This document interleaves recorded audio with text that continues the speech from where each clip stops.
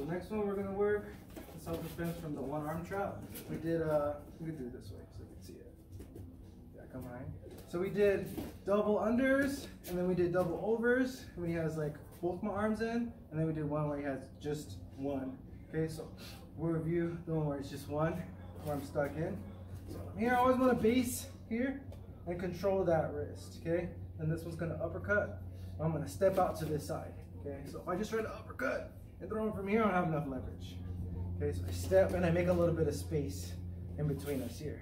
Okay, gonna keep my shoulder tight to my ear as you roll it out. Boom, and follow him to the back. And now I have the back position, okay? Here he goes again. Chops just one arm.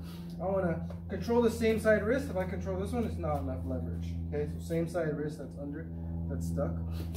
I take a step and I just wanna give a little shrug and an uppercut. Turns into an overhand boom, and then I get that grip, okay?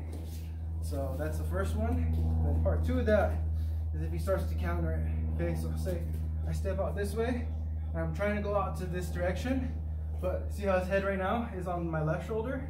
Yeah, now I have the space to get under it, but if he switches and puts his head to my right shoulder, yeah, now I can't go under because he put his weight on me yeah. On this side. So as hard as I try, I won't be able to do it. I might be able to get like a throw, but I want to just keep it nice and simple. Okay, so I'm trying, trying, trying.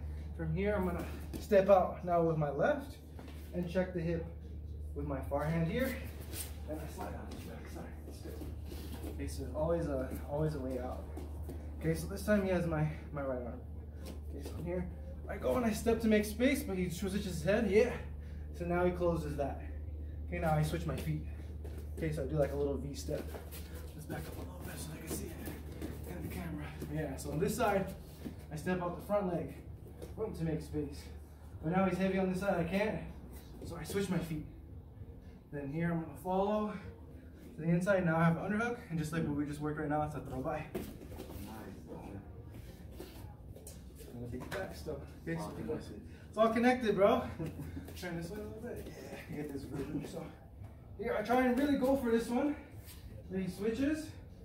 So from here, I'm just gonna go to the back. Okay?